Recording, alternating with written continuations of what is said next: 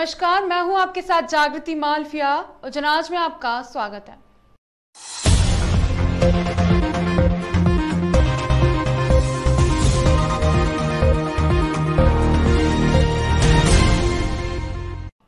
Madhavnagar hospital में 40 oxygen concentrator machine प्राप्त हुई है।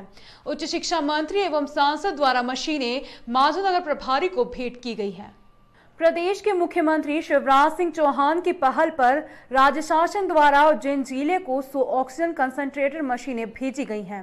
इनमें से 40 ऑक्सीजन कंसंट्रेटर मशीन उच्च शिक्षा मंत्री डॉक्टर मोहन यादव एवं सांसद अनिल फिरोजिया द्वारा माधवनगर चिकित्सालय के प्रभारी डॉक्टर एच पी सोनानिया को भेंट की गई है।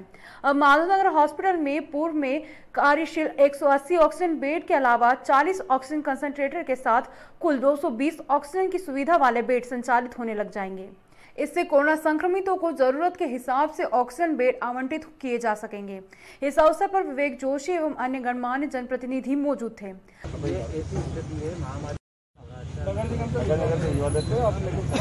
भैया आपकी भी जान की कीमत की है? मशीन भेंट करने के बाद उच्च शिक्षा मंत्री डॉक्टर मोहन यादव एवं सांसद अनिल फिरोजिया ने कहा कि वे इसके बाद बड़नगर, नागदा एवं खाचोद का निरीक्षण करने जा रहे हैं। तथा बड़नगर को 20 ऑक्सीजन मशीन आज ही उपलब्ध करवाई जाएँगी।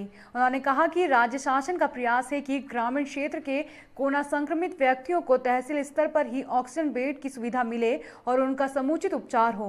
इसके लिए तराना, महतपुर, खाचरोद, नागदा, बड़नगर, घटिया आदि स्थानों पर अस्पतालों की क्षमता एवं सुविधा बढ़ाने के निरंतर प्रयास किए जा रहे हैं। माधवनगर हॉस्पिटल ये हमारे लिए शहर की एक तरफ़ से पूरे ज़िले की का संभाग की जान है। यहाँ पे क्रिटिकल से क्रिटिकल स्थिति में मरीज़ आते हैं। ऐसे में लगभग आज की स्थिति में हमारे पास 180 बेड यहाँ कार्यरत थे जो ऑक्सीजन युक्त थे। ये 40 मशीन और दिए इस हिसाब से 220 बेड हमारे ऑक्सीजन युक्त यहाँ चालू हो जाएँगे। अर्थात कहने का तात्पर्य है कि ये कुल लास्ट ईयर खाली 40 बेड से चालू होने वाला हॉस्पिटल आज 220 बेड की क्षमता के साथ चलने लगेगा। माननीय यशस्वी मुख्यमंत्री शिवराज सिंह जी चौहान, यशस्वी प्रधानमंत्री माननीय नरेंद्र मोदी जी लगातार प्रयास कर रहे हैं कि हमारे सारे संसाधन लगा करके वो सारी व्यवस्था खड़ी करें, जिसके माध्यम से लाभ मिले। आज यहाँ के बाद बड़नगर, नागदा, खाचरोद और तराना, घटिया सभी दूर का आकलन कर रहे हैं कि जहाँ जहाँ भी आवश्यकता पड़ रही है, हम वहाँ वहाँ मशीनें पहुँचाने वाले हैं। और यहाँ से 20 मशीनें भी बड़नगर ले जाकर देने वाले हैं।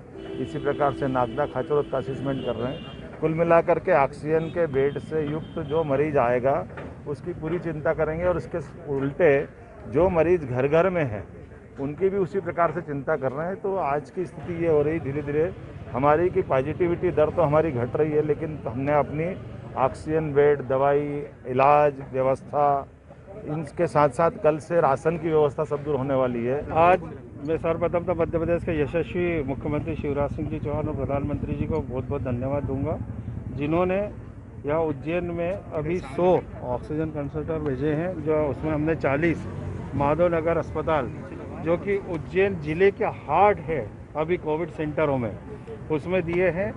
अब यहाँ पे पहले 100 बिस्तर की व्यवस्था थी, अब 220 बेड मतलब 220 कोविड संक्रमित लोगों का इलाज यहाँ प्रारंभ हो जाएगा। और ये मशीन 10-10 लीटर वाली है, जो सतत 24 घंटे चलती रहेगी, ये बंद नहीं होती है। इसलिए इसमें बहुत बढ़िया फैसिलिटी है। ये इससे ऑक्सीजन प्लांट की भी ज़रूरत नहीं, सीधे राहत दे देगी। मतलब एक मनुष्य को जीवन देने का काम करने वाली मशीन आज यहाँ आ गई है। और अभी हम 60 मशीन और तराना बड़नगर नागदा, खाचरोद में जा रहे हैं। वहाँ पे भी हम दे रहे हैं। हमने ये प्लानिंग करी है कि ग्रामीण के जो हमारे लोग हैं, उनका वहीं पे इलाज हो जाए।